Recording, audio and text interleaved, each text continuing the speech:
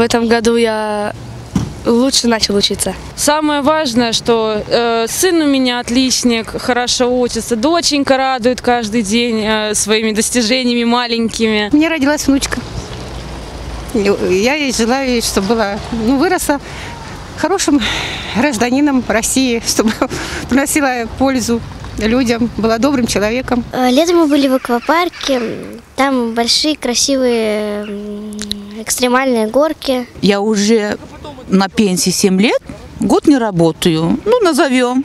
На свое удовольствие, дача, огород, живу. У меня появились новые друзья, ко- и знакомство с ними для меня оказалось очень важным и очень значимым. У меня, слава богу, ничего плохого не произошло.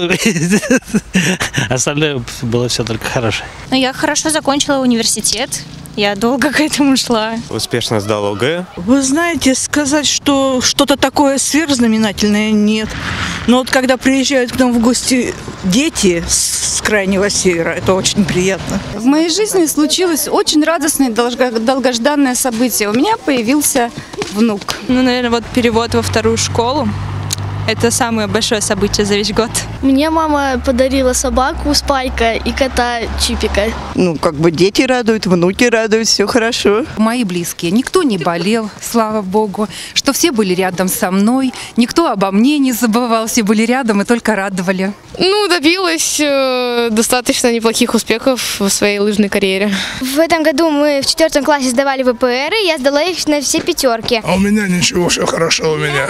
В этом году я хорошо закончила четвертый класс и пришла благополучно в пятый. Пока ничего.